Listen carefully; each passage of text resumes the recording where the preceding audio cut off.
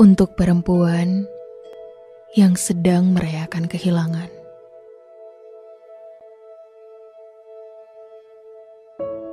Hari ini, mungkin patah hatimu sekarang menjadi salah satu bagian tersedih dalam hidupmu.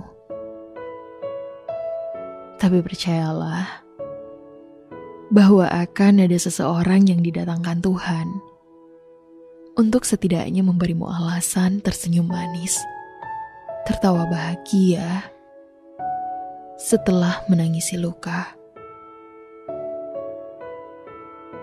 Akan selalu ada orang yang menyayangimu. Patah hatimu jangan sampai membuatmu ingin menyakiti diri sendiri. Mungkin tanpa kamu sadari, di luar sana ada seseorang yang diam-diam menjadikan senyummu alasannya untuk berbahagia. Maka, sesegera mungkin ikhlaskan kepergiannya. Sembuhlah bersama relamu atas kehilangannya. Tenanglah, sepanjang kamu mencintai dengan baik dalam ketulusan yang sungguh-sungguh tulus Tuhan tidak akan sampai membiarkanmu berlama-lama dalam kesedihan.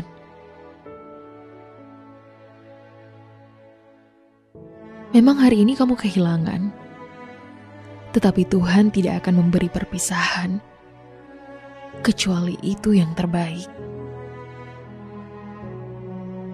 Jika Dia melukaimu dengan tidak setia, maka percayalah bahwa bahagia yang dengan mencuri kebahagiaan orang lain tidak akan bertahan lama.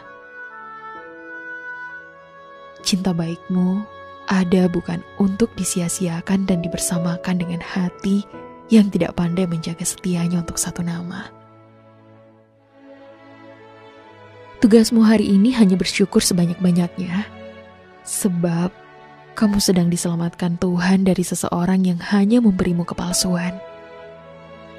Dan cinta baikmu tidak sepantasnya dipeluk oleh hati yang penuh kebohongan.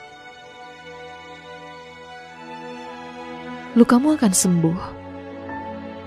Yang hilang pasti terganti. Jangan berlama-lama menutup diri, karena setelah ini Tuhan sudah mempersiapkan kejutan besar yang manis. Selamat berbahagia. Selamat jatuh cinta.